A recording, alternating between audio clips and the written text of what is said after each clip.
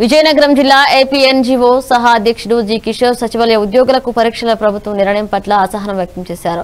ముఖ్యమంత్రి జగన్మోహన్ రెడ్డి మానసపుత్రిక అయినటువంటి సచివాలయ వ్యవస్థ ఈ రోజు రాష్ట్ర వ్యాప్తంగా ఎన్నో సేవలు అందిస్తుందని రెండు సంవత్సరాల తర్వాత రెగ్యులర్ చేస్తామని హామీ ఇచ్చిన ప్రభుత్వం మరలా పరీక్షల నిర్ణయాన్ని తేవడం సరికాదని ముఖ్యమంత్రికి లేని ఆలోచన సంబంధించిన అధికారులు అత్యుత్సాహం చూపిస్తూ ఇలాంటి లేని ఆలోచనలు పెడుతున్నారని ఆయన అన్నారు.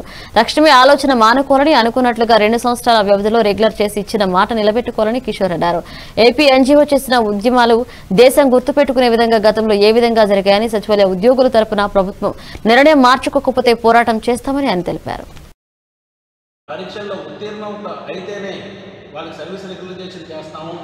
ఒక్కోసారి ఫెయిల్ అయితే రెండోసారి పరీక్షకు అవకాశం ఇస్తాము అని చెప్తా ఉన్నారు. ఇది చాలా అన్యాయం.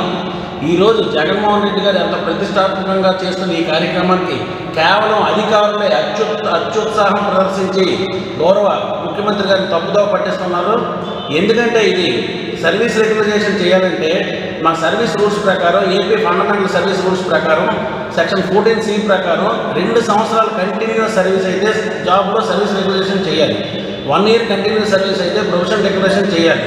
దానికి కొన్ని రూల్స్ ఉన్నాయి కొన్ని బైలాస్ ఉన్నాయి ఫండమెంటల్ రూల్స్ చాలా కొన్ని సంవత్సరాల క్రితం చాలా పెద్ద పెద్ద ఇచ్చిన సర్వీస్ రూల్స్ ఉన్నాయి. వాటన్నింటినీ తప్పుతో పట్టించి ఇప్పుడు ఎప్పుడెప్పుడు రెండు సంవత్సరాలు అయితే మాకు సర్వీస్ రెగ్యులేషన్ వస్తుంది టైం స్కేల్ ఆఫ్ జాబ్లోకి వెళ్ళి మేము ఒక ప్రభుత్వ ఉద్యోగ పూర్తి ఆనందం పొందుతాం అని.